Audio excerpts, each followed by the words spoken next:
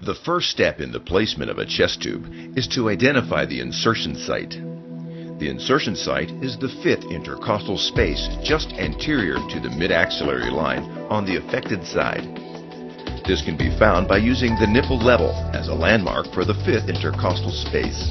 In females, always be aware that the nipple may be displaced inferiorly due to large pendulous breasts.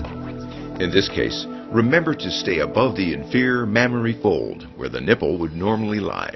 With the patient lying supine, position the hand up and over the ipsilateral shoulder and secure it in this position to keep it out of the surgical field. Surgically prep and drape the chest at the predetermined site of tube insertion. Using a small gauge needle, locally anesthetize the skin and subcutaneous tissue and the periosteum of the underlying rib. If possible, the pleura just past the rib should also be anesthetized. Make a 2 to 3 centimeter transverse incision parallel to the line of the ribs at the predetermined site with the number 11 scalpel. Bluntly dissect the subcutaneous tissue with the scissors or hemostat. Dissect over the top of the underlying rib until the next highest intercostal space is encountered. With the tip of the hemostat, puncture the parietal pleura while pushing just at the top border of the rib.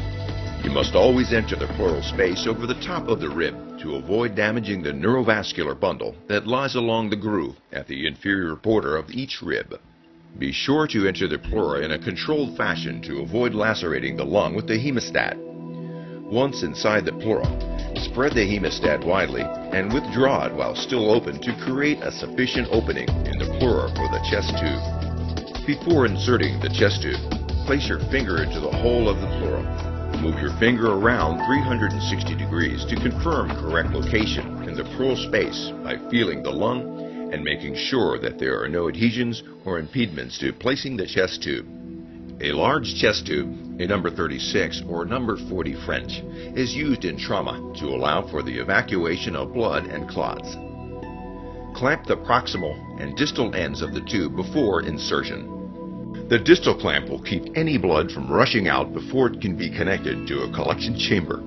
The proximal clamp will assist in chest tube insertion, but may not always be necessary or helpful.